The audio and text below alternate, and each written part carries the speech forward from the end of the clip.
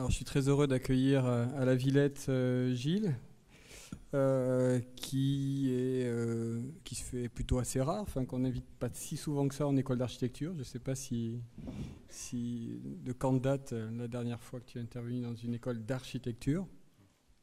C'est particulièrement important ici, dans cette école, qui, il y a encore quelques années, avait une formation postmaster entièrement dédiée au paysage. Il y a encore nombre d'enseignants qui, qui évidemment euh, transmettent cette discipline à, la Villette.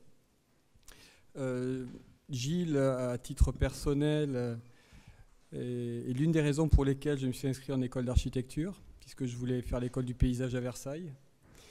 Alors ça n'a pas complètement réussi pour l'école du paysage, puisque j'ai continué en architecture peut-être un petit peu jardinier, architecte jardinier, mais je me souviens que euh, le premier livre que j'ai acheté, ou l'un des premiers, c'est Le Jardin en mouvement, la première édition, chez Sensé Tonka, qui m'a beaucoup marqué, qui m'a fait mettre un nom sur, euh, sur les plantes euh, qui poussaient dans le jardin de mes grands-parents, la grande molène, la grande épurge, tout un tas de choses que je découvrais avec, avec, avec ce livre. Je me souviens également euh, d'un autre livre dans lequel tu disais que les, paysagistes euh, avaient des latitudes et les architectes des certitudes. J'espère que ce n'est pas toujours vrai. Euh, C'était dans Thomas et le Voyageur, je crois. Et puis tu, as accepté de nous, nous accompagner en 2017 euh, à Oulan-Bator, sur Mars, comme tu as dit. Euh, pendant euh, un atelier, euh, donc un des ateliers qui compose la formation par-delà la modernité Détour en Asie.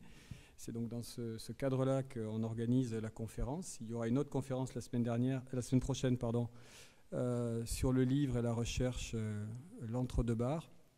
Avant de te laisser la parole, je voulais lire un extrait qui, qui vient d'un autre, d'un autre de tes ouvrages, Le Salon des Berces, qui est cité dans, dans ce livre de Frédéric Basset, euh, euh, qui s'appelle Les quatre saisons de Gilles Clément, qui raconte ton parcours de paysagiste, jardinier et, autres, puisque ton attention au milieu vivant euh, t'ont fait embrasser d'autres disciplines. Euh, donc je voulais lire ce passage qui a, qui a trait à la question euh, du voyage et de l'ailleurs. Rien ne m'oblige à faire le tour du monde, tout m'y pousse. La disponibilité, l'envie de me rendre là où rien ne m'attend, où personne ne dit d'aller. Et puis cette raison majeure que je peux formuler après coup, il ne suffit pas d'avoir une adresse, encore faut-il savoir où l'on habite. Seul le voyage ouvre les portes d'une maison dont on croyait détenir les clés. On sait cela au retour, après avoir vu comment font les autres, là-bas, la tête en bas, comment ils ouvrent et ferment leurs portes, comment ils s'adressent au peuple animal et au vent. Quel est leur jardin Voilà, je vais, te laisser la parole pour nous guider dans les conditions tropicales, puisqu'il s'agit euh, du sujet du jour, et nous expliquer comment être jardinier euh, dans ces contextes. Merci. Merci. Merci. Bravo. Merci, Olivier. Je vais prendre la main. Je préfère comme ça, voilà.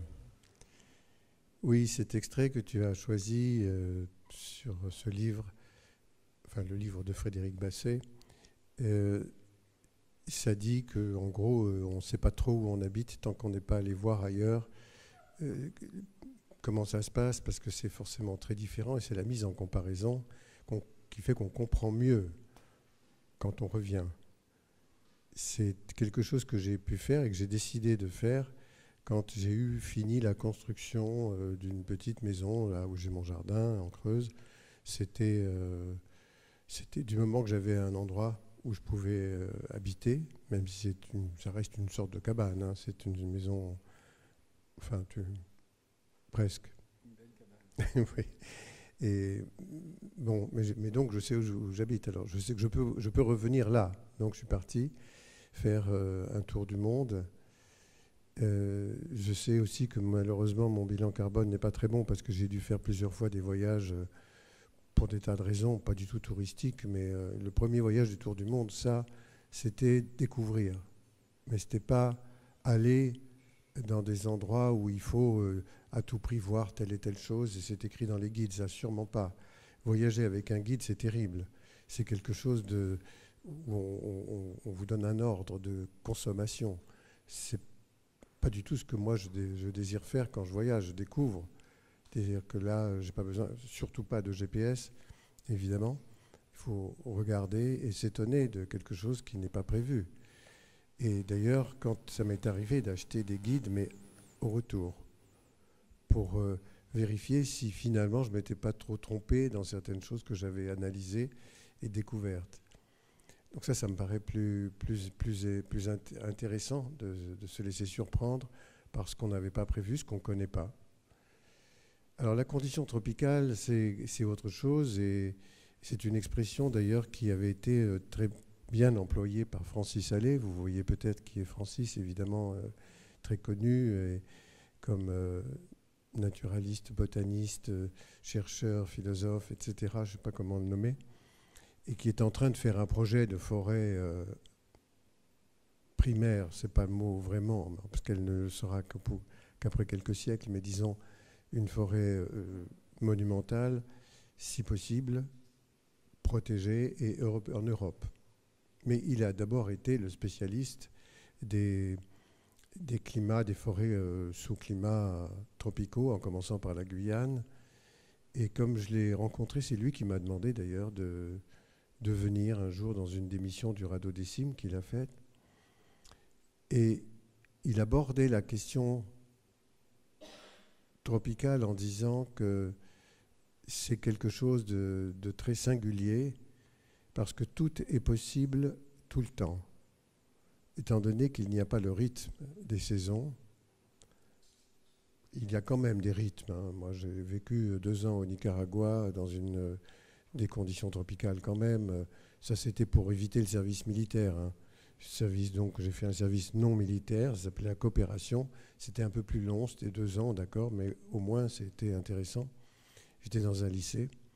Et, il y avait une période sèche et une période euh, un peu plus humide. Ça ça fait pas de doute qu'il y avait quand même quelque chose qui marquait. Mais il y avait deux saisons, et encore, ce n'était pas, pas des vraies saisons. On disait que c'était la période sèche et la période humide, et c'est tout. Mais en effet, tout était possible tout le temps, tout, pousse tout le temps on peut aller cueillir un fruit, des fleurs, des, feuilles, faucher, euh, enfin bref, tout le temps.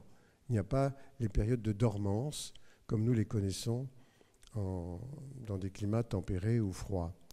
Et c'est ce qui lui avait fait dire que tout est possible à, tout moment, et par conséquent, ça expliquait pour lui les raisons pour lesquelles il y avait des révoltes dans la société humaine. Il y avait bien sûr des, collectifs qui se, rassemblaient pour euh, dire quelque chose à certains moments, mais qu'il n'y avait pas de révolution au sens propre, parce qu'il n'y avait pas l'addition de tous ces collectifs, parce que tout est possible tout le temps. Alors que mai 68, euh, ou je ne sais pas, toutes les fins d'été, les fins d'hiver plutôt, fins d'hiver, le début d'une certaine excitation, d'un réveil avec les climats que nous avons, tout à coup les révolutions se font plutôt dans cette période-là. C'est comme les enfants. Et c'est lui qui dit ça. Hein. Moi, je n'ai pas tout vérifié. Euh, les, enfants naissent majoritairement au printemps ou au début d'été, quelque chose comme ça. Et pas forcément, alors que sous les tropiques, ils naissent tout le temps, à tout moment. Donc la condition tropicale principale, c'est justement tout est possible tout le temps. Alors j'ai choisi pour commencer de montrer. Ah, c'est toi qui vas passer des images en fait. Ah oui, oui, j'ai un, passeur d'images, super. Mais ben voilà. Les biomes. Les biomes, ce sont des ensembles de compatibilité de vie sous un climat déterminé. Et là, vous avez de façon colorée des biomes. Vous voyez, le Méditerranéen est en orange, le désertique est subtropical sec est comme ça, le tropical humide est en vert euh, un peu plus foncé, et ainsi de suite. Et vous avez les légendes ici qui vous disent, qui vous dit comment ça fonctionne. Alors, aujourd'hui, on est en changement climatique, et donc ces zones-là ont changé. Euh, alors, voilà. Ça, c'est le continent théorique. Vous connaissez ces figures, non? Ça vous dit rien? Continent théorique, c'est la figure que vous avez vue d'avant, ramassée en un seul continent, et qui vous donne le, principe, enfin la surface occupée sur la planète par ces zones climatiques. La surface de la zone équatoriale est assez forte, mais les zones tropicales, mais en fait, la tropicalité, ça, inclut, à mon avis, hein, l'équateur aussi, c'est très important sur la planète. Après, les zones méditerranéennes sur lesquelles moi j'ai beaucoup travaillé pour un, jardin dans le sud de la France, elles sont beaucoup plus petites, mais elles existent partout dans le monde. Cela dit, c'est là où il y a le plus grand nombre d'espèces peut-être, mais enfin, c'est pas encore sûr parce que dans les zones tropicales humides, ça, il y a encore plein de choses qu'on n'a pas découvertes. Donc ça vous donne une idée de cette répartition qui est en train de, changer. J'avais, ça c'est la même, et puis je l'ai redessiné après autrement avec une modification de la zone désertique qui s'accroît, une zone méditerranéenne qui s'accroît aussi dans l'hémisphère nord. L'équateur est là, hein. l'hémisphère nord et l'hémisphère euh, sud, elle s'accroît, elle, prend de, et c'est ce qui peut être en train de se passer. Vous voyez, ça arrive chez nous, de plus en plus de plantes. Il y a, fait déjà un moment qu'on plante des oliviers à Paris, mais ça commence à être des bananiers, des, euh, vous voyez, des trucs comme ça qui, vont changer le paysage. Hein des... Vas-y, oui.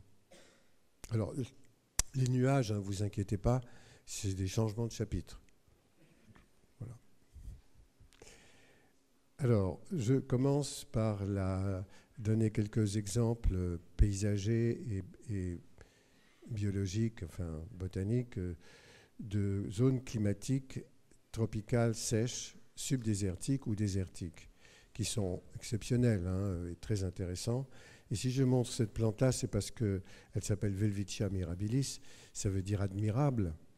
Elle a été considérée par la personne qui l'a découvert, qui s'appelle M. Velvich, comme quelque chose de tout à fait euh, étonnant. Aujourd'hui, on sait que ce sujet-là, dans le désert du Namib, donc on est, on est au nord hein, de, l'Afrique, dans la partie sud-africaine, à cet endroit-là, il pleut presque jamais mais la, croissance existe de certains végétaux très très lentement et avec une capacité, à cause de l'architecture de la plante, de capturer l'eau. Il y a deux assises génératrices qui sont ici. Bon, elle ressemble à une vieille serpillière, c'est pas très joli, hein, mais euh, ça, elle, a deux, elle a 2000 ans, là.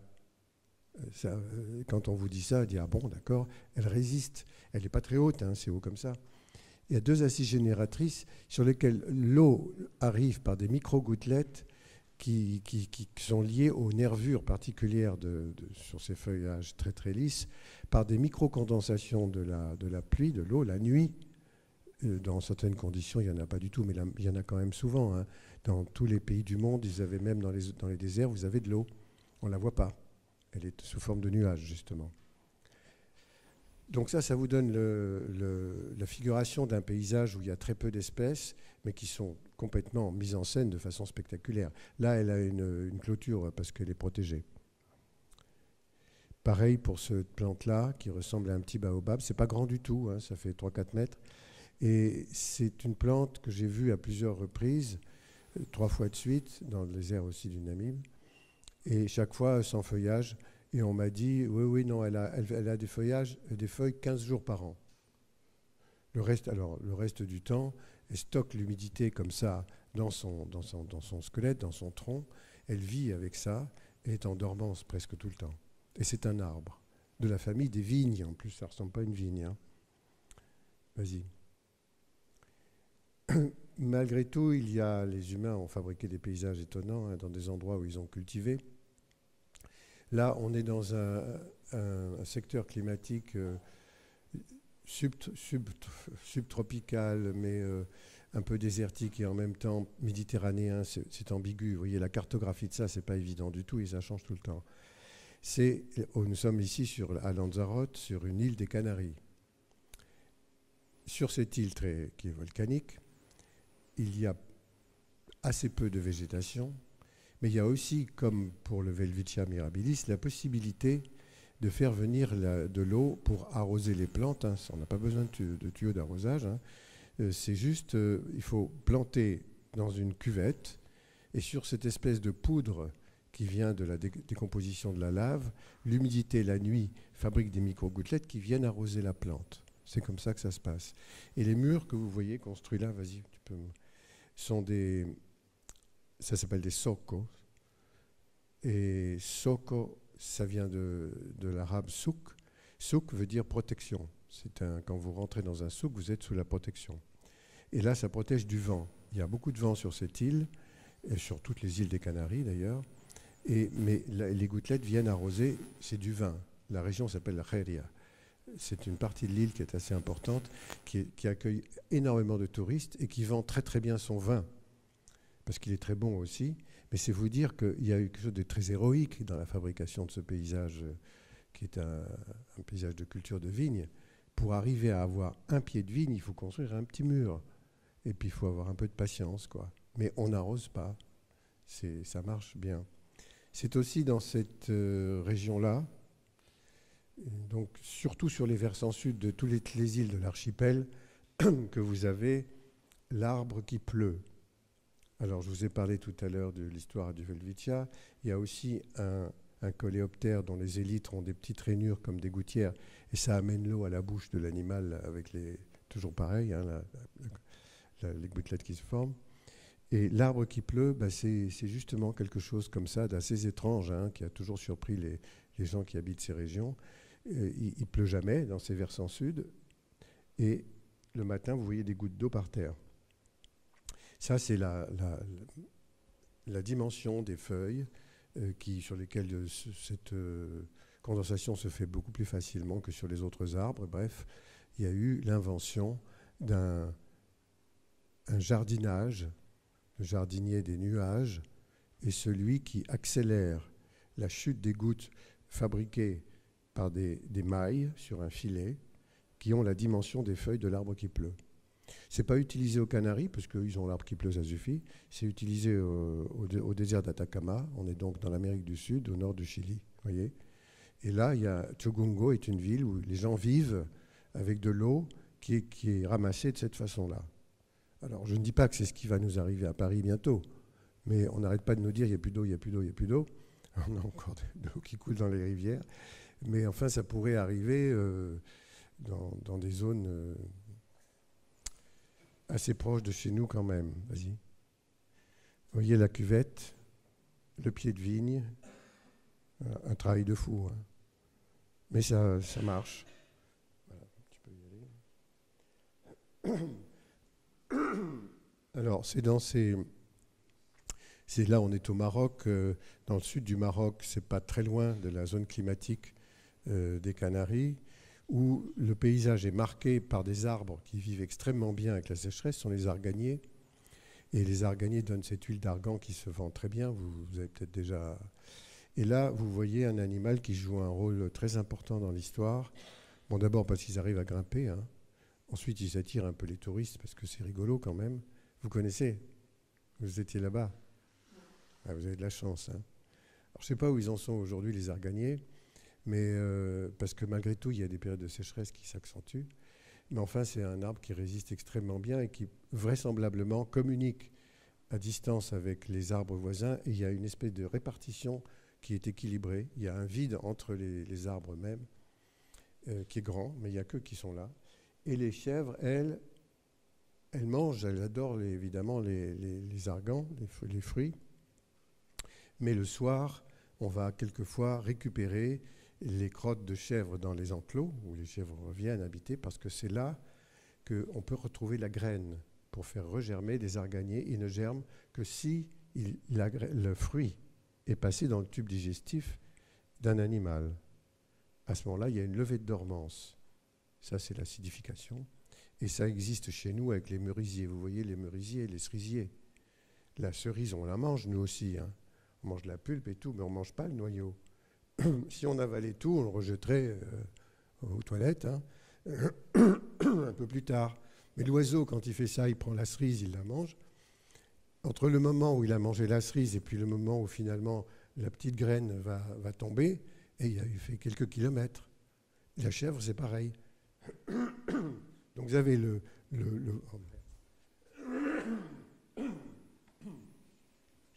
Ouais, je ne sais pas si ça va marcher. excusez-moi. Le voyage des plantes est pas toujours, mais souvent dû au déplacement des animaux. Et là, ça marche très très bien. Voilà, donc la chèvre qu'on a crue pendant un moment, pendant longtemps, on m'avait dit en Maroc, hein, c'est pas bien, les chèvres, elles mangent les fruits des argans, elles n'ont pas le droit et tout. Ben si, euh, c'est important parce que grâce à elles, on peut, faire, euh, on peut refaire régénérer les arganiers. Alors attends, vas-y. Le paysage, alors là, on, est en relief, on monte dans l'Atlas, c'est méditerranéen subtropical, c'est une espèce de, mix comme ça, avec une gestion que j'ai trouvée très extraordinaire, moi qui m'a beaucoup plu. Euh, en général, comment ceux qui habitent ces reliefs parviennent à vivre euh, en autonomie presque complète. Voilà, ça c'est Imoulas qui est un peu euh, à, l'est de Taroudan. en montant, vous voyez qu'il y a quand même des, côtes qui sont presque sans végétation. Et puis dans les parties les plus basses, il y en a beaucoup plus. Mais enfin bon, c'est la diversité n'est pas considérable du point de vue de la strate arborée. Vas-y.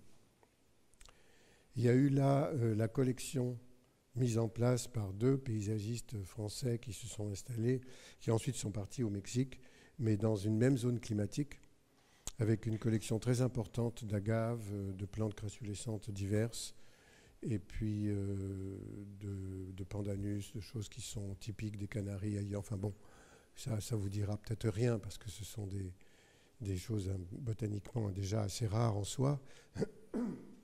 Je voudrais bien qu'on me répare là. Mais au fait, il y a besoin de micro Ah oui, d'accord. Bon. d'accord. Donc il y a une belle collection et là justement le, jeu consiste à dire on n'arrose pas. C'est-à-dire qu'on fait avec euh, le climat tel qu'il est. Et j'avais aussi beaucoup apprécié euh, la façon d'habiter. Tout, ce qui est fait en terre aujourd'hui, vous savez, il y a le, vous devez connaître Cratère à, Grenoble.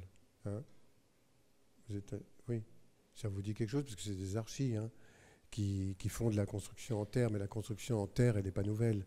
Et dans tous les oasis, moi j'étais allé à Gadamèche, à la frontière euh, Tunisie-Libye, il y avait toute une architecture, mais absolument magnifique, en, terre.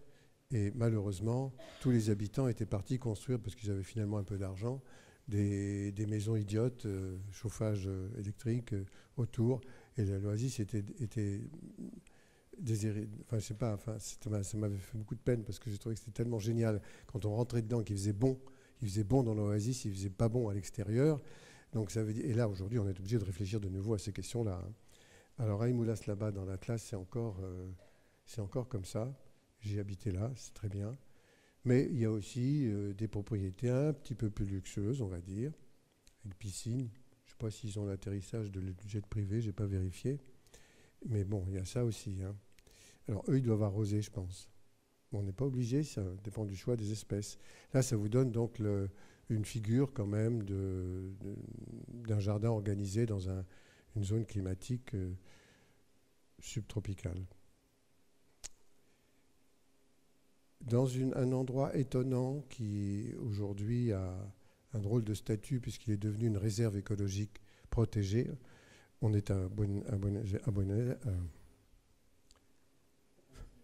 comment Buenos Aires, si, gracias. Et à Buenos Aires, il y a toute une partie qui a été remblayée pour gagner du terrain en vue d'agrandir la ville. Heureusement, il y a eu une crise économique, ça ne s'est pas fait. Et ça a été gagné par des plantes qui sont venues s'installer spontanément. Et finalement, la diversité a été relevée avec beaucoup d'intérêt. Et dans cette zone-là, euh, les herbes du sud, de la pampa, sont remontées. Alors j'ai la photo d'après qui donne le, paysage gagné par euh, cette plante qui est devenue même chez nous une plante quasiment envahissante, un petit peu, pas beaucoup, hein, parce qu'elle n'est pas dans sa, zone climatique parfaite. Enfin, euh, c'est une plante qui supporte extrêmement bien la sécheresse. Et il y a plein d'autres espèces et c'est protégé maintenant. En Iran, c'est quand même là que naît euh, l'histoire du jardin hein, en Perse.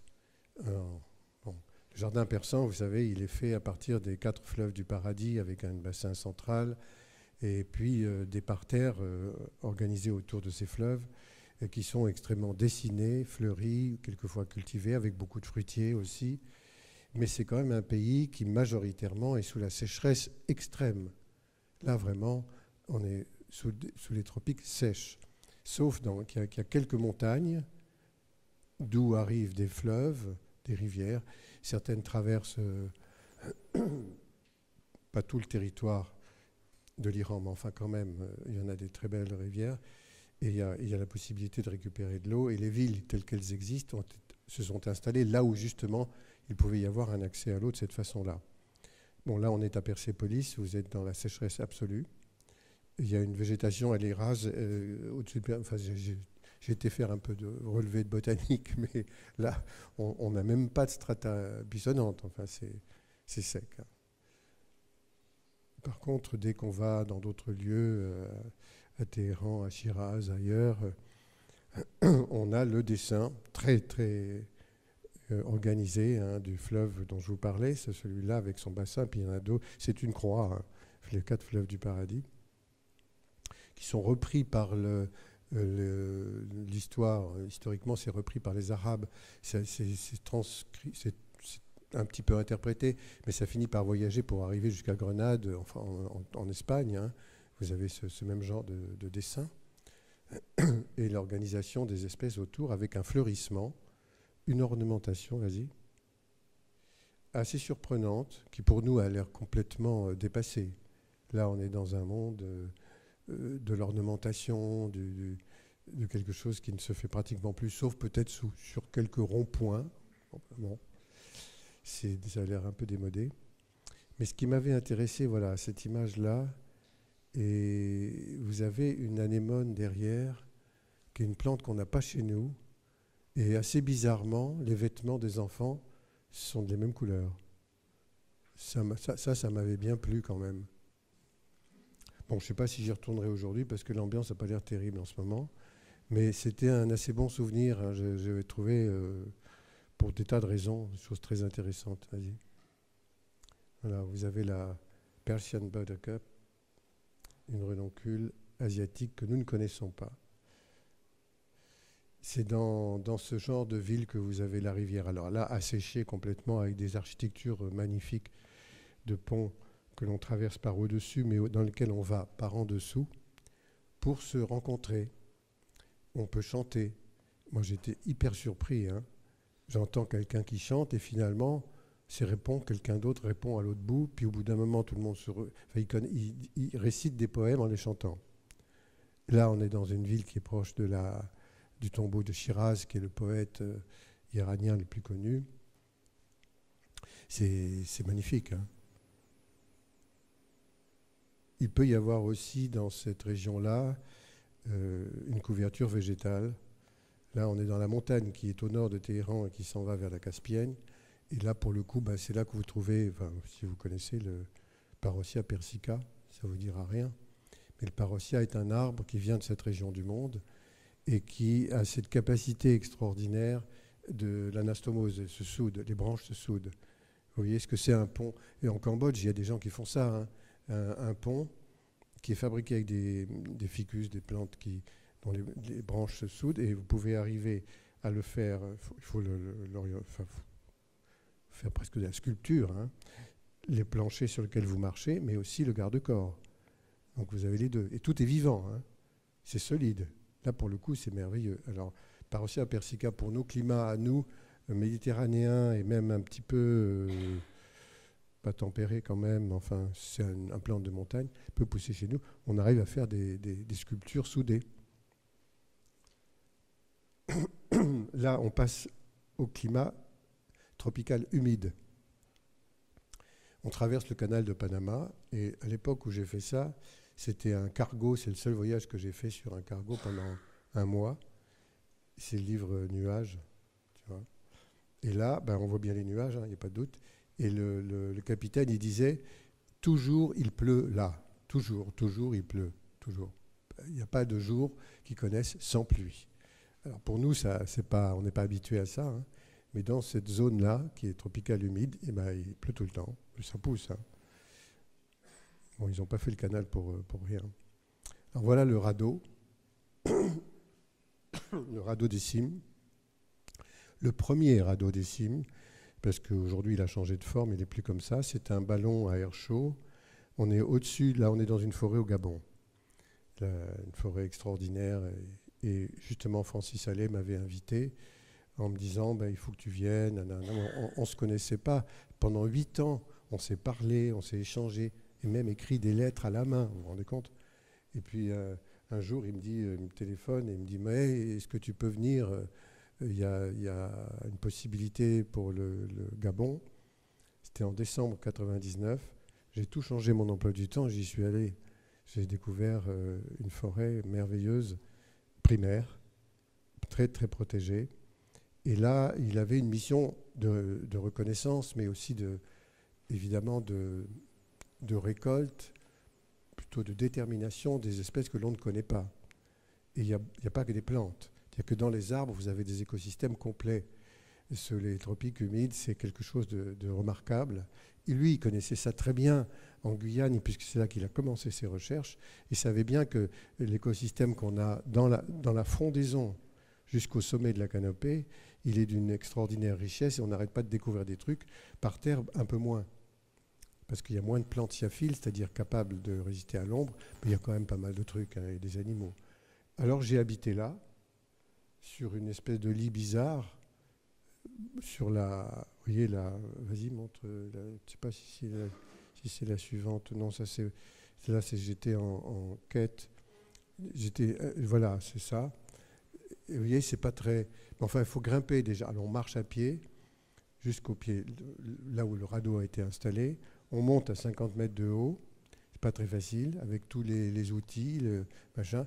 Et puis, on vous dit, oui, oui, il va pleuvoir effectivement, puisqu'on dort, là, on sait pas, il n'y a pas d'autre solution, et avec une bâche en plastique dessus.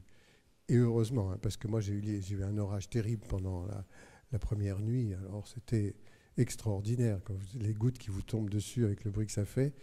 Et puis au bout d'un moment, ça s'arrête et vous avez des, un singe qui crie, euh, ou vous entendez un éléphant passer par terre. Ils sont plus petits, ils sont, sont nains. Enfin, euh, c'est une vie en permanence, quoi. Et là, vous vous rendez compte, oui, il y a quelque chose qui nous manque. On aurait vraiment besoin, dans ces régions-là, euh, d'aller vivre correctement à ce niveau-là. Si moi j'avais un jardin à faire dans un pays comme celui-ci, je, l'aurais fait dans l'arbre, pas, pas, ailleurs. Sauf qu'on est très maladroit, nous, on est très lourd. Euh, c'est compliqué, on sait, sait pas. il nous manque les, les, quatre mains de tous les singes qui savent faire tout. Hein et puis les, ailes des oiseaux. Enfin, vraiment, là, on n'est pas bon. Hein. Et, non, mais c'est dommage parce que, euh, enfin bref, on découvre ça, c'est-à-dire cette euh, incapacité à communiquer avec un monde qui nous paraît euh, si, éloigné, si, éloigné, Et c'est dommage, mais on s'en émerveille. Alors, paysage extrêmement riche impossible d'avoir des, perspectives euh, comme ça dans une forêt euh, primaire, presque toujours. Là, on est cette fois-ci en Guyane. Et euh, j'ai été invité là par, c'était une dizaine d'années, par, j'appelle ça le Drachman, mais ça ne se dit pas comme ça. C'était le directeur de la DRAC. On peut dire Drachman. Hein. Sympa et tout. Près de l'endroit où on, enlève, on envoie les fusées en l'air, là. On m'avait demandé si, la mine d'or, c'était une bonne idée. Dans un lycée, il fallait que je réponde aux étudiants. Euh, J'avais dit que non, c'était une très, très, très, très mauvaise idée. Vous savez pourquoi? On pollue tout. On tue tout, on a de l'or, mais qu'est-ce qu'on fait? On le bouffe? On fait quoi avec ce machin? Bon, un petit peu dans les iPhones, là peut-être, et c'est pas sûr. Hein. Donc voilà, ce pays, euh, qui, c'est la, Guyane, qui aujourd'hui, je, je, trouve, est un pas, vraiment menacé. Il y a encore un équilibre dans la, flore amazonienne et la faune amazonienne sous ce climat qui est un tropical humide, euh, qui est pas mal par rapport à ce que l'on peut aller voir dans certaines zones du Brésil où là, il y a tellement d'orpailleurs, ils ont tellement détruit que ben, c'est moins bon. c'est pas gros, hein, la, Guyane. C'est un petit département français, vous vous rendez compte? Il faudrait aller voir. Alors, les, rivières ont souvent cette couleur, mais c'est pas pour ça qu'elles sont, qu'elles sont polluées, elles sont riches, sauf si on fait de l'or. Alors, si on fait de l'or, ça pollue tout, hein. ça c'est sûr. Vas-y. Voilà, donc on nage, si on peut dire, parce qu'on est dans une immersion complète dans ce genre de paysage-là. Et là, euh, on n'y est pas habitué, hein, nous. On, a des visions, des, ouvertures, euh, on n'est pas des visions lointaines. Là, on est tout le temps, tout le temps dans l'immersion. Et c'est pas du tout, vas-y, c'est pas du tout désagréable parce que même à cette échelle-là, on n'arrête pas de découvrir euh, des choses sur des perspectives qui sont courtes mais on découvre aussi des animaux. Quand on se trouve devant un puma ou un, je, sais pas, enfin, un félin. Et, euh, on, enfin, on ne sait pas quoi faire. Hein. Mais, juste, on s'émerveille. Après, on se dit qu'est-ce qu'il faut faire? On ne nous a pas appris. On devrait euh, savoir leur parler. Voilà. Alors, ça, c'est. Il y a quelques habitats là. Il y a même un, pépiniériste qui s'est installé là et que j'étais allé trouver pour parler de, la manière de jardiner. Mais la manière de jardiner, elle peut être euh, très contestée parce que si on fait quelque chose qu'on installe là, il se peut que justement par les brutalités climatiques, il y ait quelque chose qui disparaisse. Et ce qui m'avait beaucoup plu, c'est d'apprendre que certains Amérindiens construisaient des maisons extrêmement temporaires. Une petite maison, comme ça, elle peut euh, être transposée et ça dépend de si on veut aller vers la mer, qui n'est pas loin, ou si la mer monte, eh ben on remonte par là. Donc ils ont pris en compte le changement climatique. Nous, on n'a pas fait ça vraiment. Hein. La mer monte là. Euh, il y a plein de maisons qu'on est obligé de dire non, faut plus y aller, c'est pas bon.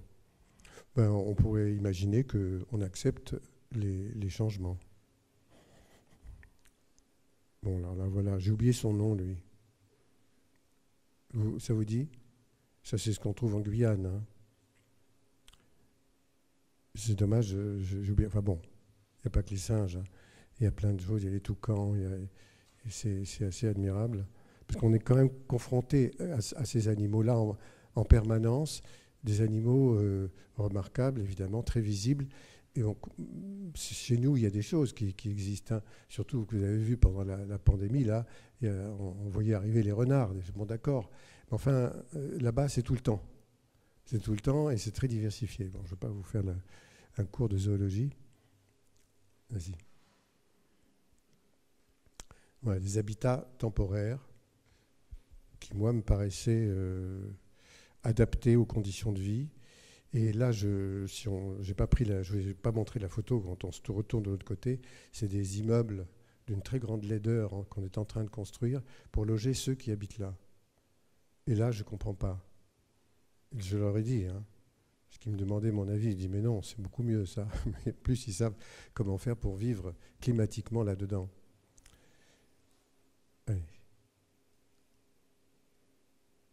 Euh, qu'est-ce que c'est ça? Ça, je sais que c'est la Côte d'Ivoire. Hein. Mais oui, c'est ça. On est toujours sous les tropiques humides, mais avec des modèles un peu différents. Et là, vous voyez que c'est devant un hôtel, donc ça accueille des touristes. Et donc, on a emprunté le, modèle culturel euh, de ce qui se passe, euh, je ne sais pas si c'est en Europe ou ailleurs, mais dans des pays où, euh, où on est censé vivre bien, paraît-il. Donc il faut qu'il soit du gazon, arrosé, tondu bien sûr, et bordé comme il faut. Là, euh, on, a, on, est, on, est, complètement dans un autre modèle aujourd'hui, mais ce n'est pas très vieux ça, il n'y a pas dix ans. Hein. On pourrait aussi immédiatement rentrer dans le paysage local euh, de cette partie de l'Afrique euh, où, on a énormément de palmiers, mais plein d'autres choses, des alocasias, enfin des, des, plantes qui expriment tout de suite la puissance tropicale. Ça pousse très vite. Vas-y. Ça, moi, j'aime beaucoup ça parce que là, on est sur le principe des épiphytes. Vous avez des plantes qui grimpent sur une autre plante. Bon, chez nous, on a du lierre qui fait ça, mais on a aussi quelquefois des, petites fougères. Et là, vous en avez une qui monte euh, dans le palmier euh, jusqu'en haut. Quoi. ça.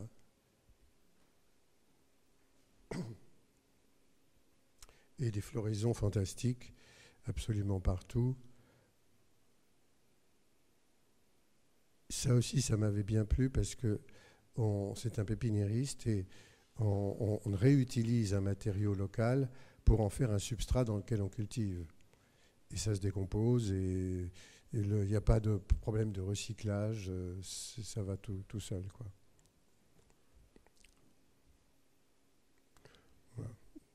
Ça, c'est une œuvre d'art. un jardinier est intervenu, hein, forcément. Mais vous voyez, tout le lignotubère et toute la, force de cette architecture-là, et c'est l'arbre qui l'a fait petit à petit, mais à la condition qu'on intervienne aussi dessus. Vas-y. Ça, c'est une manière de se tenir debout. Une série de plantes qu'on trouve euh, dans presque tous les pays tropicaux humides. Là, on est en Afrique euh, centrale, mais on le trouve à La Réunion, à Madagascar, il y en a partout.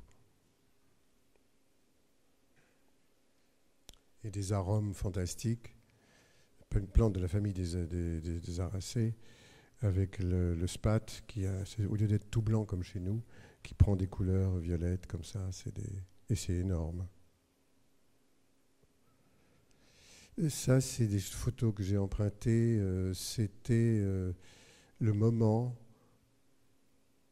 où la forêt commençait à, dépérir parce qu'on l'exploitait pour pouvoir euh, faire des pièges à poissons dans des, îlots comme ça. Et finalement, ça a été remplacé par du bambou et ça a sauvé la forêt. Bambou est exotique, mais euh, peu importe. Euh, vas-y, la, pêche se fait comme ça. À partir du moment où il y a une plante que l'on met dans ces, bassines, ça, c'est en Casamance, hein, on, est, dans un pays où euh, il y a quand même de la, une richesse naturelle si on n'a pas tout détruit dans l'environnement. Vas-y. Ah oui. Alors, eh ben, celle-là, c'est, une image à laquelle je dois beaucoup. Dans un des premiers voyages que j'ai fait au Cameroun pour une mission entomologique, je suis arrivé à la frontière du Gabon dans une zone où il y avait des pygmées. Et les pygmées euh, sont des nomades. Or, cette image-là, elle montre le moment où on a voulu les sédentariser. Donc, vous êtes dans une forêt, il y a une clairière, c'est comme ça que les pygmées s'installent à chaque fois, même encore maintenant quand ils sont nomades, mais ce n'est pas toujours facile, parce qu'on leur interdit le nomadisme. C'est pareil pour les, aborigènes en Australie, c'est vraiment monstrueux, mais c'est comme ça. Et donc le, bâtiment qui, lui, est, prévu pour être euh, se détruire tout seul, c'est une petite hutte, vous connaissez, mais celui qui est un peu plus durable est construit juste à côté, parce qu'ils sont sédentarisés. Et à partir de ce moment-là, il y a quelque chose qui se fait que vous ne le voyez pas là, mais, mais moi je l'ai vu en, tournant autour, et puis j'avais un peu du scrupule à prendre des photos, c'est que le jardin commence. C'est au moment de la première sédentarisation, historiquement, que le jardin s'est mis en place. Sinon, il n'y avait pas lieu. On allait ramasser, cueillir là où on passait, en cheminant. Bon, il ne faut peut-être pas que je parle trop. Ça va? Oui, bon. Fini. Alors, je vais finir par euh, Maurice et la Réunion. Il y a des Mauriciens ici. Il y a des Réunionnais. Réunionnais. D'accord Trois Réunionnais. D'où? De Réunion, quoi. La Réunion, c'est la Réunion. Bon. Donc vous saurez, vous comprendrez ce que je dirais. Alors Maurice, Maurice, il y en a? Non? Vous savez où c'est, hein cette petite île euh, qui doit sa, célébrité euh, à Pierre Poivre, mais enfin pas que ça. L'époque où il a créé le jardin de Pamplemousse, c'était la guerre des épices. C'était là comment on fait pour euh, éviter le monopole des épices tenu par les Hollandais et les Portugais à l'époque, et puis finalement retrouver. Enfin, il a perdu un bras dans, cette guerre-là. Hein, est allé jusque dans les îles de la Sonde, il est revenu, et le premier jardin botanique au profit de ces épices, c'est Pamplemousse, qui est le jardin là, où il est situé, vous voyez ici, au nord, au nord-ouest de l'île. Quand on est au bord de la mer, on a des, paysages extraordinaires. avec des anémomorphoses, c'est-à-dire des végétaux qui sont formés par la force des vents. Donc là, ça ne donne pas le, caractère du reste du paysage qui est très très boisé, sauf quand on fait des cultures de canne à sucre. Parce que là, il y en a. Mais pendant des années, euh, tu peux passer, hein, les, euh, les Mauriciens n'ont pas cultivé, n'ont pas mangé le sucre qu'ils cultivaient, parce qu'ils avaient bénéficié des, des accords de Lomé, qui leur donnait un privilège à vendre le sucre et consommer du sucre d'Afrique du Sud. L'économie fait des conneries, mais à un point euh, qu'on n'imagine pas. Hein. Enfin, ce sont les règles. Mais alors voilà le, plan tel qu'il a été conçu à l'époque euh, pour euh, cultiver des, espèces qui, avaient une valeur énorme. Hein. Il y avait une guerre des épices, ce n'était pas un hasard. Ça, c'est le jardin de Pamplemousse. Hein?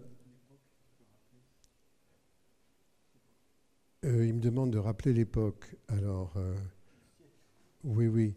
Non, mais c'est que j'étais pas vraiment né. Non, non, je suis très très mauvais avec les dates. Cliquez Pierre, Pierre, Poivre. Vous allez tout de suite avoir la date. Hein? 18e, ouais. Ouais. Oui, oui. C'était la fin de, nos rois, je crois. C'était avant la Révolution. Et j'en suis pas vraiment sûr. Non, je suis mauvais là. Excusez-moi. Hein. Et alors, la grande célébrité de, ce jardin, ça vient de, du, jardin des, des nymphéas, des nénuphars. Euh, c'est pas du tout. C'est pas la même chose. Mais c'est des trucs énormes qui viennent d'Amazonie. On est, c'est pas du tout une plante ni de l'île de la Sonde, ni de, l'île Maurice elle-même. Il y a eu beaucoup d'exotiques qui sont arrivés là, dont celle-ci qui est purement décorative, hein, euh, mais elle est magnifique. En, France, il y a un jardin qu'il a cultivé en, premier, c'est la Villa des Cèdres au Cap Ferrat. Donc, comment tu dis? 18e, allez, on fait qu'on fait ça. Ouais.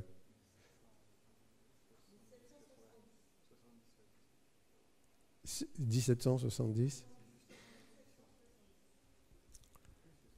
Oui.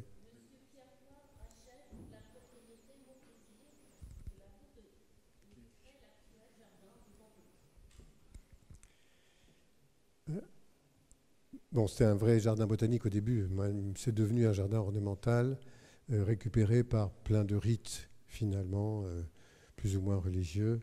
Et ça a perdu sa force euh, scientifique, botanique. Mais il y a quand même ce, ce lieu-là, avec les, énormes nymphéas qui, créent, qui ont un succès fou. Quoi. Tout le monde vient voir ça. Vas-y. Ça, c'est un autre bassin où il y a d'autres plantes de la même famille, botanique. Mais sur, euh, quand on, une fois qu'on est rentré, on rentre sur le goudron. Là aussi, ils me demandaient des conseils. Hein. J'ai eu beaucoup de mal à leur dire que ce serait mieux s'il n'y avait pas ça. Mais en même temps, ils ne savent pas comment s'en sortir. Et, et pour euh, l'entretien, ils sont encore avec l'idée qu'une feuille qui tombe d'un arbre, c'est pas propre. Enfin, on a la même chose chez nous. Hein. Vas-y. Donc il faut souffler. Voilà le bâtiment de Pierre Poivre. C'est correct. Qui est devenu une sorte de musée et de, lieu encore de réunion pour des recherches scientifiques. Vas-y. Alors on s'y promène comme ça, il y a des chemins euh, tracés et puis des chemins beaucoup plus rigoureux. Vas-y. Alors là, on passe au bord de la diversité qui s'accommode de l'eau.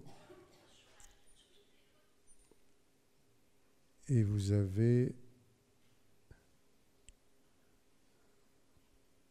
Bon, ça vous donne, l'esprit du jardin. Hein. Je ne vais pas revenir... Euh, vous donnez le nom de toutes les plantes, euh, l'arbre du voyageur peut-être, bon, peu importe. Là, c'était il y a la dernière fois que j'ai fait la visite, et ce que vous voyez qui n'existait pas auparavant, c'est la pollution. L'eutrophisation de l'eau qui alimente tout ce bassin a fait qu'il arrive euh, que poussent énormément d'espèces en dessous qui finissent par rendre les choses glauques. Et les, jardiniers sont devenus des, sortes de, poissons eux-mêmes. Ils nagent là.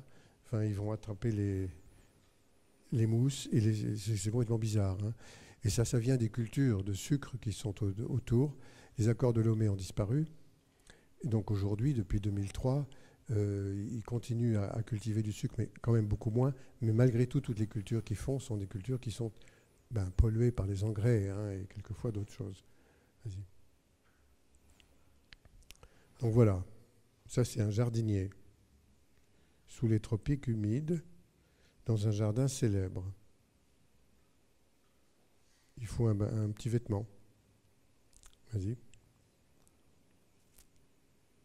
Moi, j'avais jamais vu ça. Hein.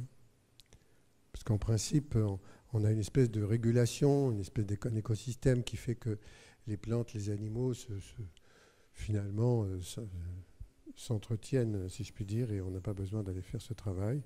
Mais là, c'est sans doute plutôt pour le tourisme que pour la plante elle-même, ils le font. Voilà.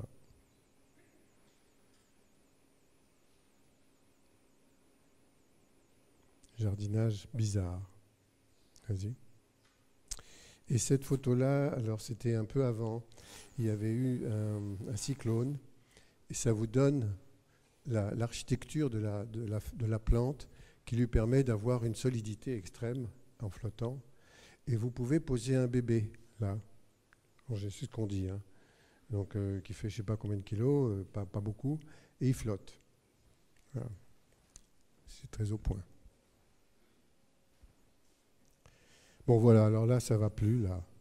Là, on déconne, quoi. Ça sert à rien ce machin. C'est pareil chez nous, hein. Mais bon, faut faire propre. Ça veut dire quoi? On ne sait pas du tout. Voilà, là on est dans les grands axes du, jardin de Pamplemousse, avec des collections de palmiers, d'arbres, etc. Mais ça n'a pas été renouvelé. On n'a pas, pas rajouté dans cette collection botanique continue de vivre telle qu'elle, avec euh, des, comportements merveilleux. Hein. Là, je vous ai parlé des, plantes qui se soudaient, les anastomoses. Là, euh, là, il y en a justement, et ça donne des, paysages qu'on n'a pas chez nous. Quoi. Il y a un peu de fleurissement, mais là, moi, ce qui.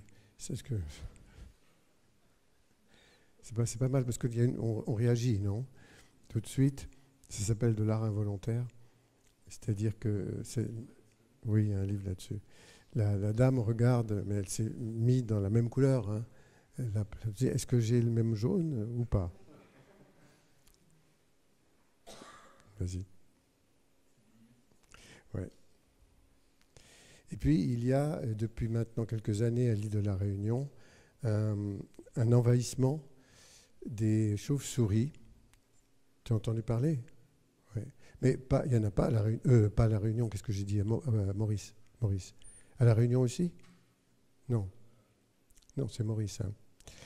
Alors, ça vient, ça vient, ou ça viendrait du fait que les, les cyclones ne sont plus aussi réguliers et forts, enfin, ils sont, ils sont plus, ils passent plus au moment voulu, pour réguler la population des chauves-souris.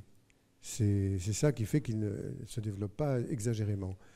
Depuis quelques années, réchauffement climatique, changement, disons, climatique. Donc les chauves-souris se multiplient, se multiplient. Elles sont frugivores, alors elles vont manger les, mangues et les litchis. Et là, les habitants, ils n'aiment pas ça parce qu'eux, ils veulent les manger eux. C'est normal. Hein. Donc ils tirent dessus, mais ils n'ont pas le droit parce qu'elle est protégée, elle est unique. Vous voyez, cette espèce de chauve-souris. Comment on fait? Quand ils m'ont posé la question, moi j'ai dit, bah, peut-être qu'elle va se débrouiller toute seule, la chauve-souris, pour s'auto-réguler. La plupart des plantes et des animaux savent faire ça. Nous, non. On va voir. Hein. Et voilà. Après, vas-y. C'est une belle bête, hein envie de la caresser.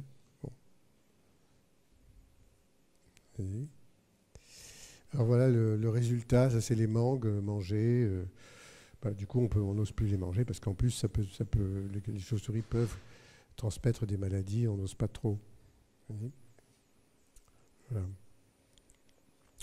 Et puis il y avait un élevage de tortues, mais la dernière fois que j'y suis allé, je ne l'ai pas, revu.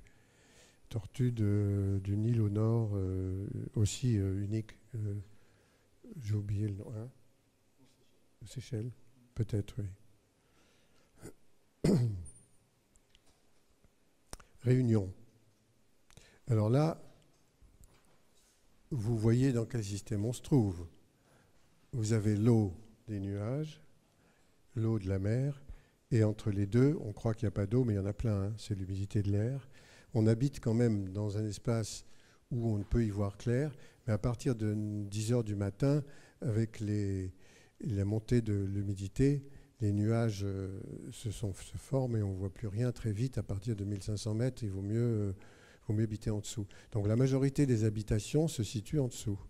Sauf si on veut aller, mais il faut y aller tôt le matin, euh, au-dessus de ces, zones-là. Moi, j'ai dû travailler sur la route du Maïdo, donc vous voyez de quoi je veux parler. Et là, ben, il fallait y aller tôt. Alors j'avais fait une espèce de petite, comme ça, de prise des, notes. Et c'est à partir de 1500 mètres qu'on commence, 1200, 1500, on commence à changer complètement. Et au-dessus, on est dans une zone dite des tamarins, qui sont des arbres locaux. Alors les tamarins, l'île de la Réunion, c'est un volcan. C'est un volcan et arrivent des espèces au moment où le volcan commence à se calmer un petit peu, et c'était il y a des milliers d'années, mais on ne sait pas d'où c'est venu. Les tamarins, c'est un acacia qui vraisemblablement a dû venir d'Australie. Mais avec qui? Comment? C'est quoi le jet privé là? C'est un oiseau. Euh, vous voyez, ça vient de loin. Les plantes ont toujours voyagé. En tout cas, là, il se, développe dans un, massif euh, assez beau, assez clair, et on est à 2000 et quelques mètres. En bas, si on, prend le, on part du niveau de la mer, ça c'est le moment où moi j'étais passé, euh, j'ai oublié l'année, mais c'était la première fois que j'allais à La Réunion, et le volcan, au bout de la caldeira, arrivait à traverser la route en bord de mer, et ça faisait des flammes, ça, ça enflammait le goudron, c'était pas mal. Et ça donnait un paysage un peu, un peu raide, comme ça, un peu, un peu inquiétant. Mais enfin, c'est juste sur le chemin de la caldeira. On n'est pas. C'est pas partout. Vous voyez la route? On dit, on dit quand même, euh, vous pouvez plus passer là. Ça, c'est vrai. Hein. Les oiseaux, ils s'en foutent. Hein. Et tout le paysage euh, grillé. Alors là, je ne sais pas s'il y a eu une coulée de lave récente. Non. Hein. non. Sur la rive de Saint-Gilles, euh, on n'a pas, les coulées là parce qu'on est vers, vers l'ouest alors que les coulées vont plutôt vers le sud. Et là, il y a des filaos, c'est-à-dire que c'est une espèce australienne, souvent plantée pour tenir les, sables, justement, sauf qu'elles n'arrivent pas toujours à tenir quand il y a eu des tempêtes. Et j'avais trouvé ça très beau euh, d'avoir une vue possible sur la totalité d'un système racinaire d'un arbre en bord de, mer. Bon, aujourd'hui, ceux-là, ils ont disparu. Ça, ce sont des fils à eau quand ils ne sont pas encore été gagnés par la mer. C'est un aboisement très transparent. Et là, ça vous donne une idée un petit peu de ce que c'est que le bord de mer dans cette côte ouest, avec un atelier du jardin planétaire. Alors, c'est tenu par quelqu'un qui s'appelle Sébastien Clément. C'est pas de ma famille, mais il travaille là-bas. Tu connais, non? Ah ben voilà, super. Et il a fait une thèse là, sur euh, tout son travail sur l'île de la Réunion. Et c'est remarquable, hein. c'est vraiment euh, très très beau et très utile surtout, très important. Et là, il y a plein de gens qui viennent. Alors, euh, ce n'est pas forcément des étudiants, mais c'est des, jeunes de tout. Il y a de tout. Et ils, reconnaissent et ils interviennent. Ils reconnaissent les espèces et les matériaux et ils interviennent. Alors, à toutes sortes de niveaux. Là, on est au bord de la mer, mais ça peut se passer, oui, là, hein. qu'est-ce que c'est que cette plante, qu'est-ce qu'elle nous donne, c'est quoi cette arme, etc. École du jardin planétaire. Une des écoles, parce qu'il y en a plusieurs, mais c'est celle qui marche le mieux. Ils ont fait des jardins hein, à plusieurs endroits. Là où c'est la partie les plus basses et les plus humides, on a évidemment plus de, de, de possibilités de faire pousser toute une diversité extraordinaire. Vas-y il y a voilà, un jardin qui est. C'est pas exactement leur groupe de, du jardin planétaire, mais ils interviennent quand même dessus. Ça va je, je sais pas, je dis, si je dis des bêtises, il faut. Voilà des jardiniers planétaires à l'œuvre. Vas-y. Il est là, Sébastien. C'est lui le chef. Alors allez regarder comment se comporte un, ficus ou, je ne sais plus qu'est-ce que c'est un plaque minier. C'est, merveilleux. Hein. Il, y a beaucoup, il y a beaucoup à dire. Il y a aussi des... On change de climat. Cette île, elle a quelque chose de très très particulier. C'est qu'elle a des zones climatiques différentes. Il y a, il y a des, euh, des, vallées, des, des vallons, il y a des, des cirques, il y a des bords de mer, mais il y a des zones sèches. Il y en a une qu'on appelle la savane sèche, où il y a quelquefois un arbre à palabre. On se met à l'ombre pour discuter. Mais quand on monte, on change de zone climatique et vraiment euh, jusqu'à arriver en Europe. On, on commence en Australie, tropicale, sèche, humide, et on monte en Europe.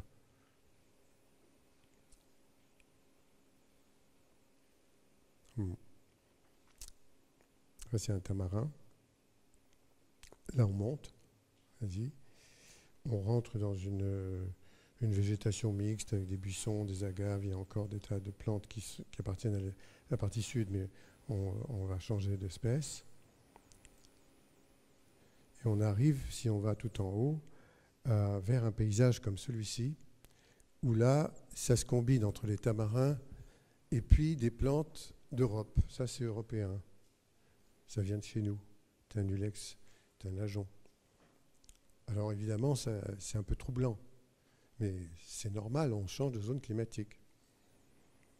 Et ce qui est très intéressant, je trouve, dans, moi je ne connais pas toutes les îles euh, du monde, hein, mais c'est qu'il y a cette diversité par zone climatique à cause de la, de la hauteur, ça monte assez haut, on est à 2005, et une diversité culturelle énorme dans cette île, sans que forcément les gens se tapent dessus. Enfin, je, je résume, hein. mais c'est, c'est le, sentiment que, que, que, j'ai, mais, et aussi j'ai des amis euh, là-bas, je connais plein de gens, c'est quand même quelque chose de, de rare aujourd'hui. On, est dans un, presque l'équivalent d'un écosystème émergent. Il y a des plantes qui arrivent d'ailleurs, elles se mettent avec celles qui étaient là avant, puis au bout d'un moment, ça se raccorde et tout va bien. Ça s'appelle un écosystème émergent. Un écosystème émergent culturel, pour moi, l'exemple, c'est l'île de la Réunion. Voilà, ça c'est on est en haut, au Maïdo. Voilà l'endroit où on vient, parce que là, on a une vision d'abrupt sur le cirque de Mafat. Il y a plein d'autres cirques, il y en a trois comme ça, énormes. C'est Mafat, hein je, finis par mélanger, mais je crois que c'est le siècle de ma fat. Voilà, là on est en haut de l'île. Les ateliers toujours du jardin planétaire. Donc ils mettent les mains dans la terre, c'est très bien. Vas-y. Ça fait partie des choses qu'on observe en disant ça, c'est une œuvre d'art. Moi, j'ai fait le plus petit jardin de ma villa.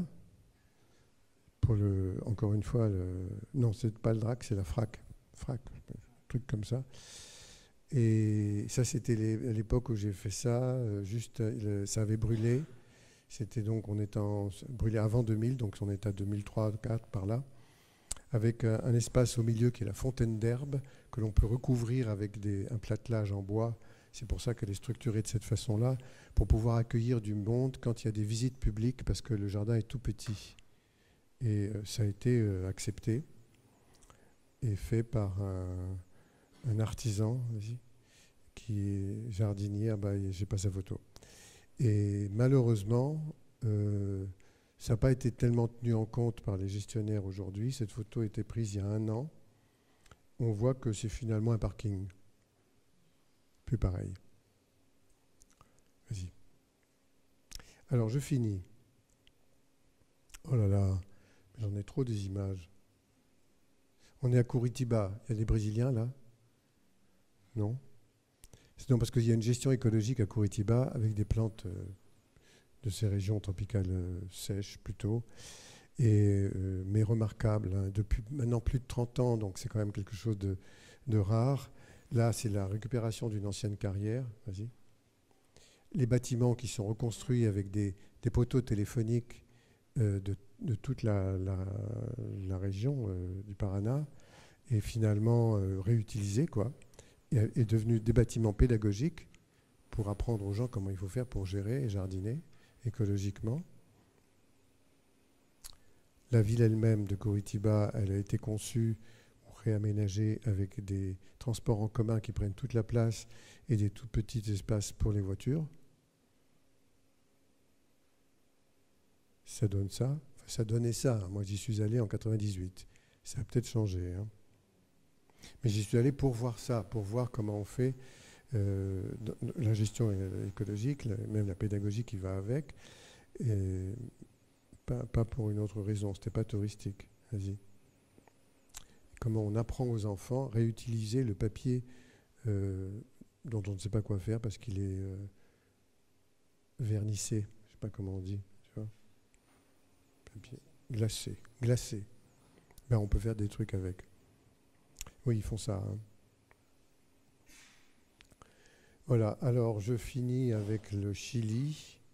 C'est des plantes euh, qu'on utilise même chez nous. Le gunéra, j'en ai dans mon jardin, mais ça suppose de l'humidité, mais on est quand même dans un climat subtropical. Ça, c'est dans, le Chili lui-même, on est, on est dans l'Amérique du Sud. Vas-y.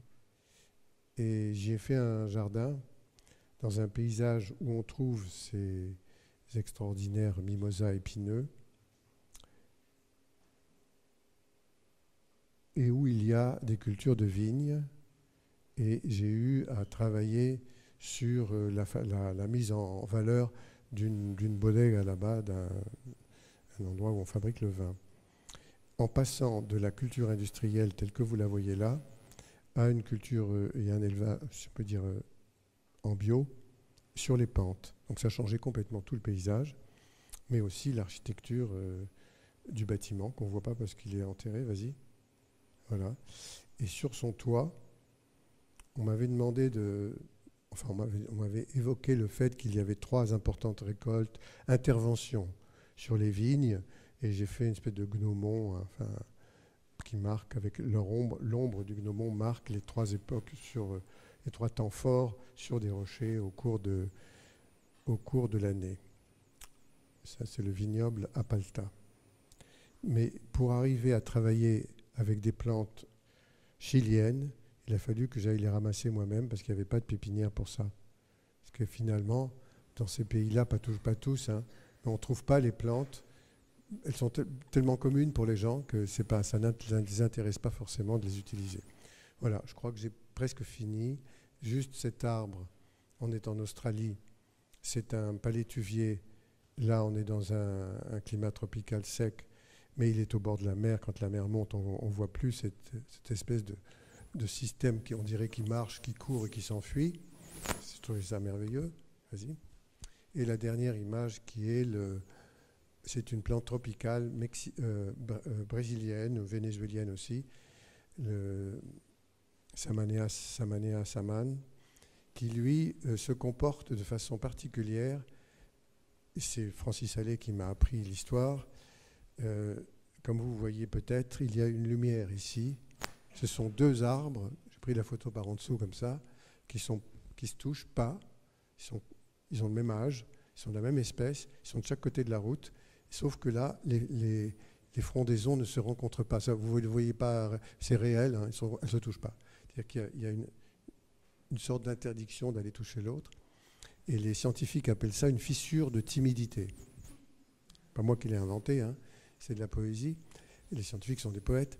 Mais c'est parce que euh, c'est important pour moi de, vous montrer ça, simplement parce que c'est à partir des arbres tropicaux qu'ont été établies les, meilleures manières de, communiquer, les plus fortes, les plus visibles entre les arbres. Là, il y a forcément une communication qui se passe peut-être par les racines, mais sans doute euh, aussi par les feuillages. Hein.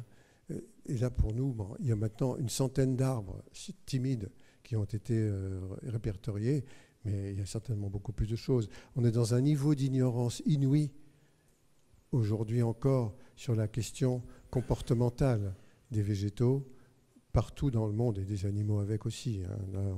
on, est au début de, de, la compréhension et de dire oui, d'accord, il faut qu'on aille essayer de comprendre comment ça marche.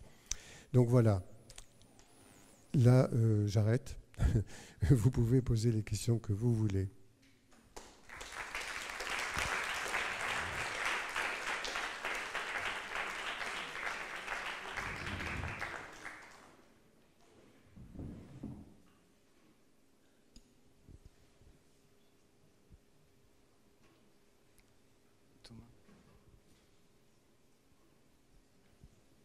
Il faut que quelqu'un prenne le micro. Je veux bien. Je l'amène. Est-ce qu'il y a des. Est-ce qu'il y a. Est-ce qu'il y a, tiens, est-ce qu'il y a des questions?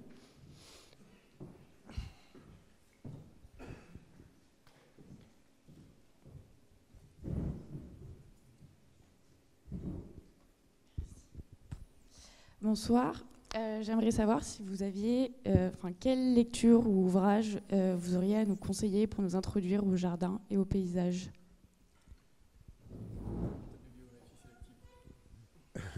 une lecture, une ouvrage spécialisé orienté sur quoi?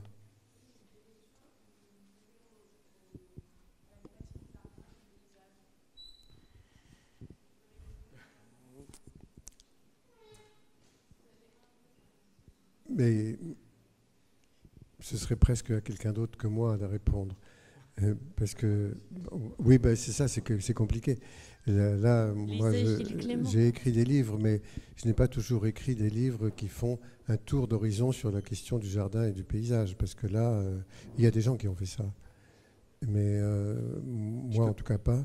Ah ben, Christophe, peut-être, tiens, réponds à la question, Christophe, s'il te plaît. Il n'a pas entendu la question. Mais je peux peut-être répondre te concernant. Oui, Alors, une introduction, euh, euh, Gilles Clément. Bon, déjà, il y a un certain nombre de textes qui sont présents sur ton site internet, qui sont tout à fait accessibles. Il suffit d'aller sur, c'est quoi, quelque chose comme ça. Donc, vous avez un certain nombre de textes, euh, ceux, relatifs au jardin en mouvement. Il me semble qu'il y a l'éloge de la friche. Il y a des choses sur le jardin planétaire. Oui, mais là, la question, c'est euh, comment on analyse le sujet, le thème du jardin. Alors, j'ai fait un livre qui s'appelle euh, Une brève histoire du jardin. Ça, c'est un livre court et qui euh, donne un point de vue sur justement l'évolution de la pensée à propos du jardin, la force de certains symboles, comment nous, nous héritons des jardins de Perse en passant par le, monde arabe, l'Espagne, et finalement l'Italie, la Renaissance, etc. Il y, a, une évolution comme ça. Ça, oui, mais, c'est le seul qui aborde, ce sujet de cette façon-là. Sur le paysage, à mon avis, il n'y a rien de véritablement euh, faisant un tour d'horizon, parce que le paysage, c'est ce qui se trouve sous l'étendue du regard. Et pour ceux qui n'ont pas le sens de la vue, sous l'étendue de tous les autres sens. C'est un espace sensible, on, voit quelque chose. Quelque chose qui, ici, nous avons un paysage. Donc euh, tout est, tout, tout est paysage, si on peut dire, y compris euh, en fermant les yeux. Quand on met euh, une trentaine d'étudiants devant le même paysage, alors un joli paysage tel qu'on a pu en voir sur les photos, etc., on leur dit, vous nous, vous nous l'expliquez, vous nous, montrer chacun de vous, etc., on a 30 lectures différentes. Parce qu'on a, on a aussi les sensibilités différentes. Donc faire un, chaque individu est différent. Faire un livre sur la question du paysage en imaginant qu'on aurait des clés de, comme ça, des règles, non, ça, je crois que ça n'existe pas.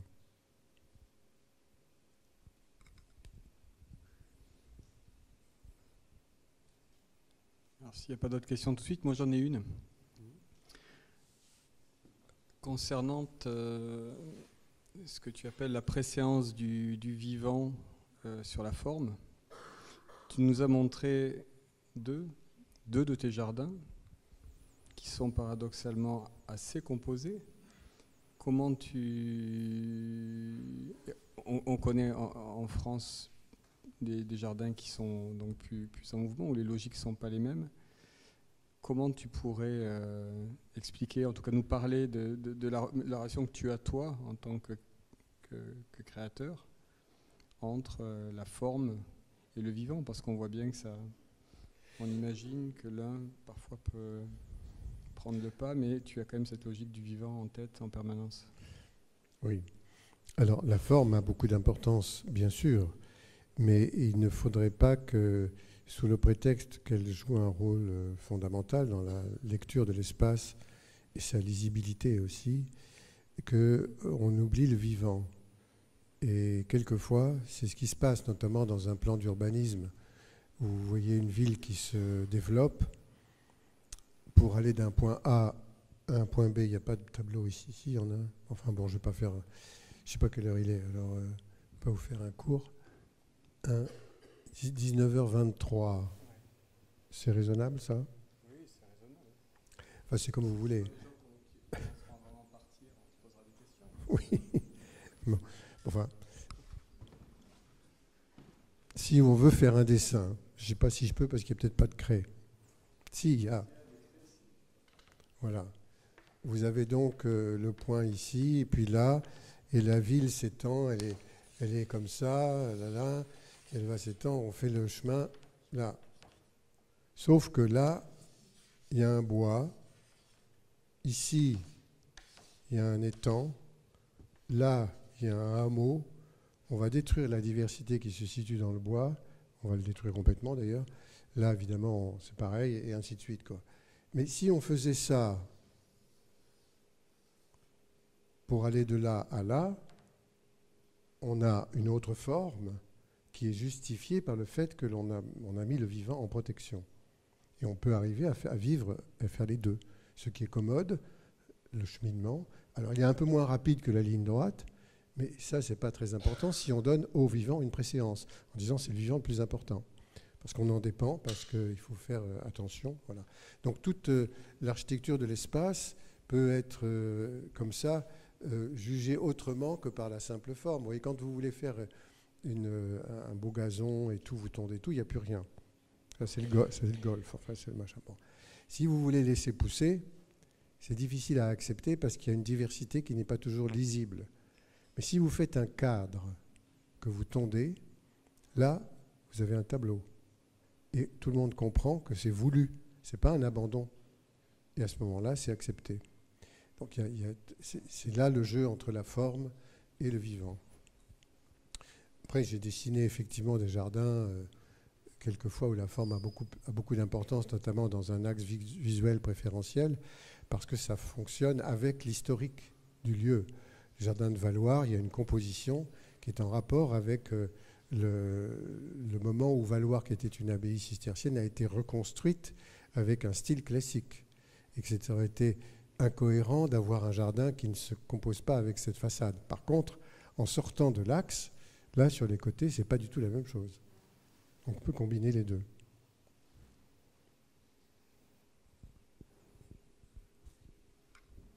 D'autres questions?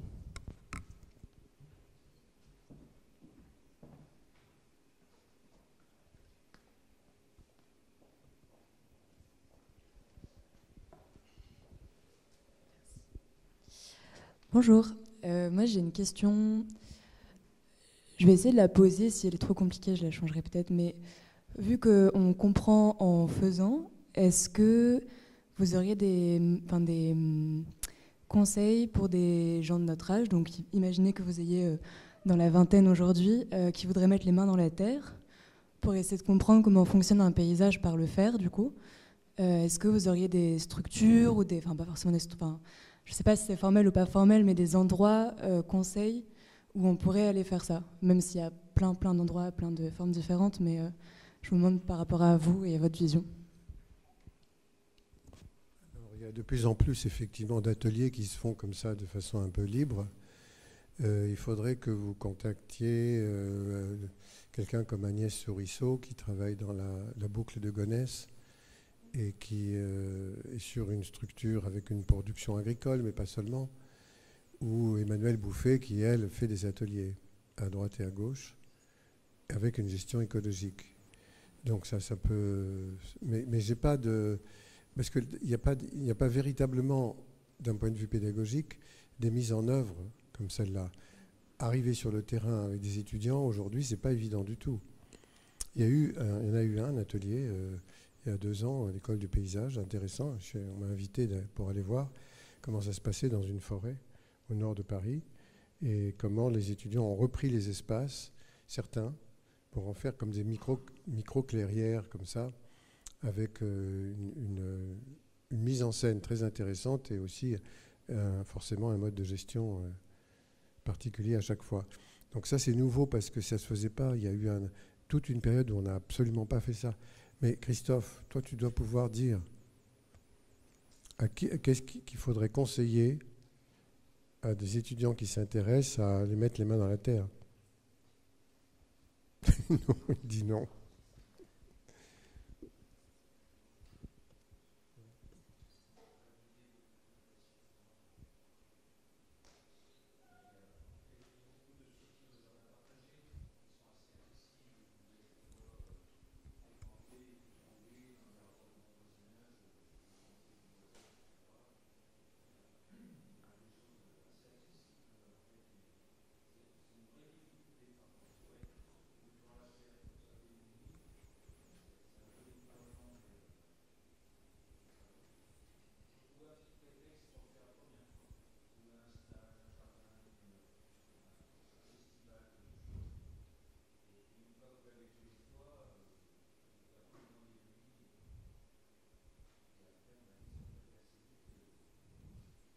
Oui, euh, arpenter la ville, ses marges, peut-être aller rencontrer des gens, identifier où il y a des jardins, où il y a encore des jardins ouvriers et aller, aller traîner par là-bas pour discuter avec ceux qui savent encore faire. Je crois que c'est la, c'est le, ou qui, qui, savent faire. Il y a, des il y a un certain nombre de zones de jardins. Hein. Oui, c'est ça, dans aller de ces marges. Après, vous pouvez aller à la campagne. Vous avez peut-être l'opportunité d'aller euh, effectivement euh, ailleurs. Mais à, proximité de la ville, il y a quand même tout un tas encore d'emprise de, de tenue, de au, nord de Saint-Denis, tu sais, il y a, au nord de Saint-Denis, il y a, cet espace qui est une ancienne ferme qui a été reprise avec une production mais euh, vivrière, mais il n'y a pas que ça, mm. puisqu'il y a, il y a aussi euh, l'apiculteur euh, Olivier Darnay qui fait le miel béton. Vous connaissez ça? Et eh ben là, là ils font, ils font travailler des gens. Hein.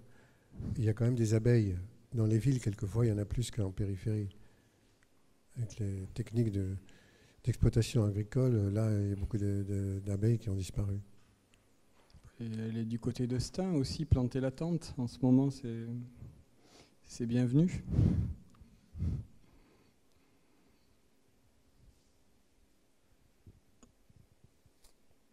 D'autres questions? Oui, Christophe?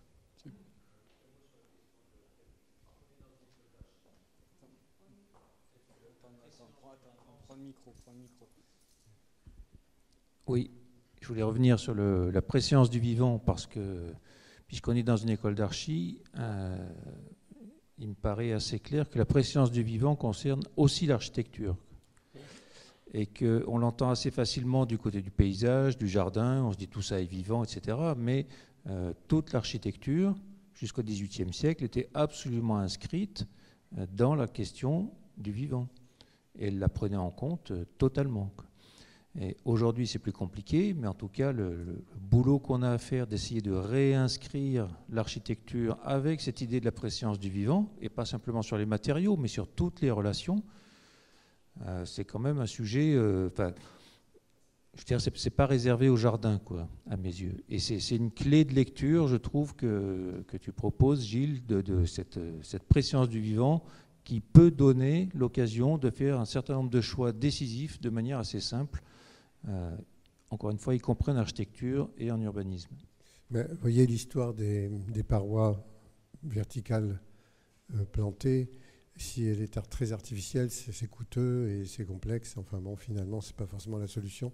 Mais si par hasard on met des... Dans l'architecture, on, on, construit le bâtiment avec un système euh, en, en redans, comme ça, ben, on aura forcément une végétation qui va qui va se développer sans qu'on fasse quoi que ce soit. hein. Il y a des espèces qui arrivent à pousser. Il faut prévoir que toute cette paroi, cette paroi de, l'édifice soit conçue en un béton un peu maigre dans lequel l'eau puisse s'infiltrer. Ça ne veut pas dire qu'il va se détruire euh, tout, de suite, hein, mais il faut faire en sorte que ça tienne quand même. On peut avoir un, un double paroi, une qui, est euh, très, très solide, une qui l'est beaucoup moins, mais là on fait rien. Alors ça, c'est quelque chose euh, qu'on voit euh, sans problème. Aujourd'hui, quand on a, admettons, quelque chose comme l'équivalent d'un toit qui, vient un peu plus au-delà de l'aplomb ici, on aura, on aura ici un habitat pour des animaux, pour des oiseaux. Sous une gouttière, même quelquefois, il y a des, habitats auxquels on ne pense pas du tout, mais qui sont de plus en plus repérés justement dans les villes parce qu'il y a des animaux qui s'y réfugient. Parce que quelquefois, ils ont plus de mal à vivre à l'extérieur des villes que dans la ville. Surtout depuis qu'on a arrêté les pesticides, les herbicides. Et ça a l'air de rien, mais c'est important. Hein. C'est pas, c'est pas toujours très joli parce que les, les, les, arbres avaient des grilles, c'était propre, impeccable et tout. Maintenant, il y a de l'herbe qui pousse, etc. Mais c'est pas dangereux. C'est même plutôt bien. Des animaux qui peuvent s'y installer.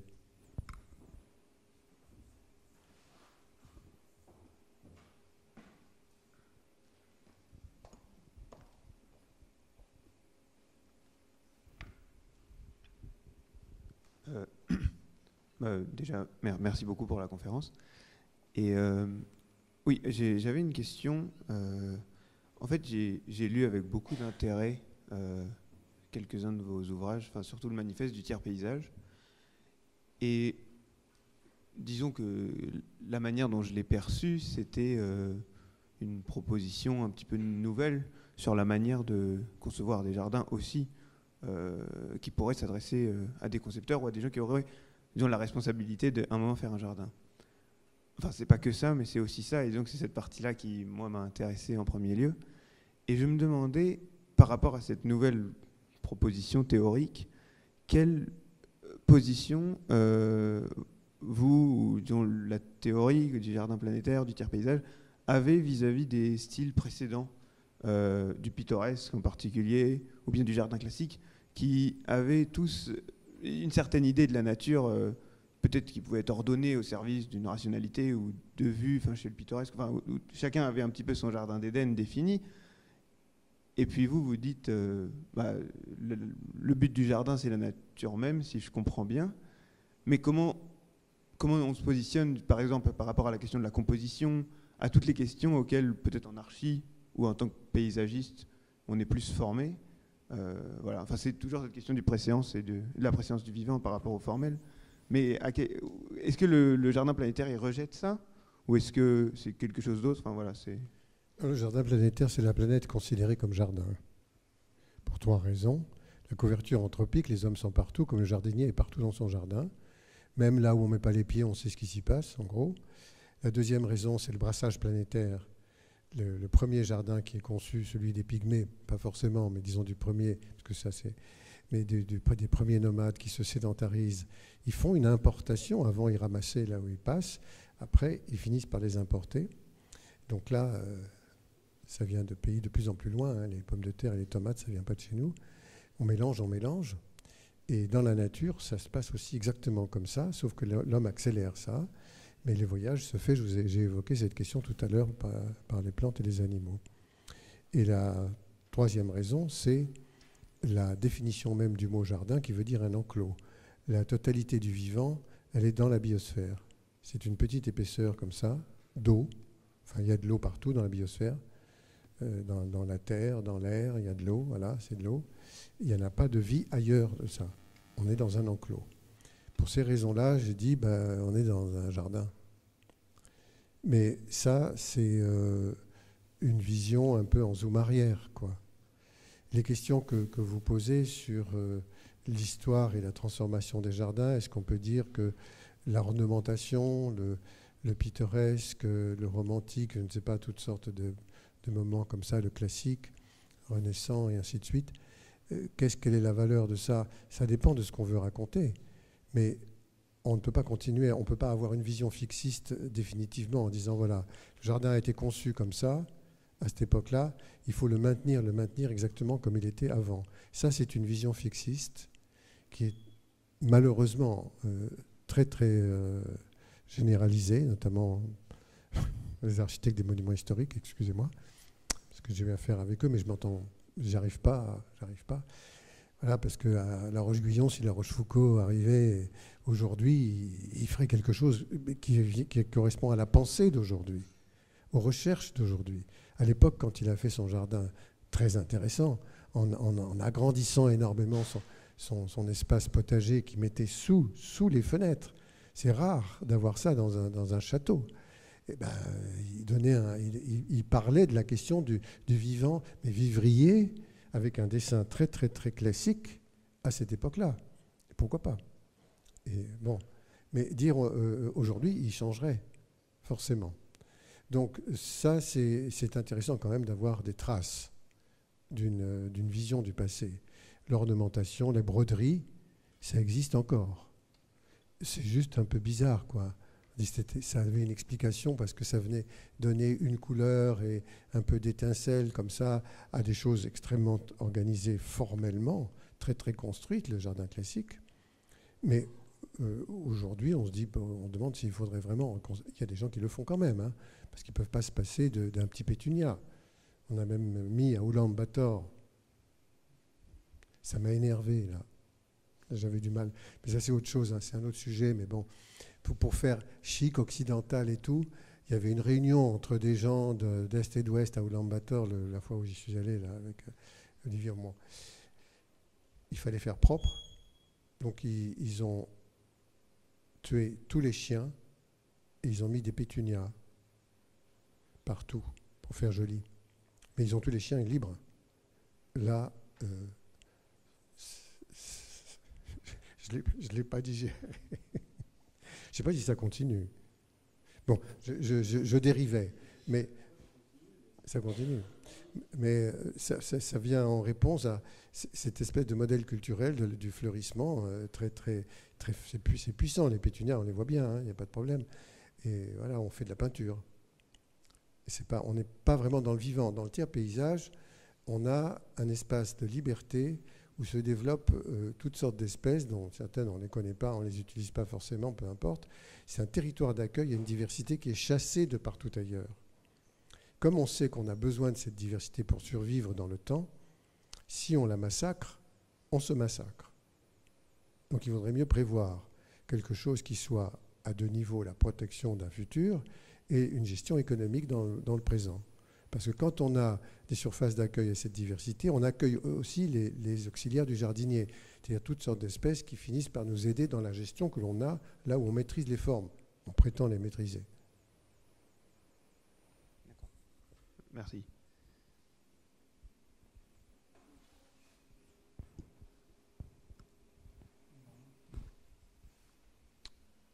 Je vais te remercier encore une fois. Euh, et te souhaiter bonne continuation. bonne prochaine conférence ou intervention qui doit être euh, approximativement demain peut-être Non, ça va. Et euh, si, mais si, tu dit ça tout. Oui, voilà. Donc, euh, merci à toutes et tous. bonne soirée.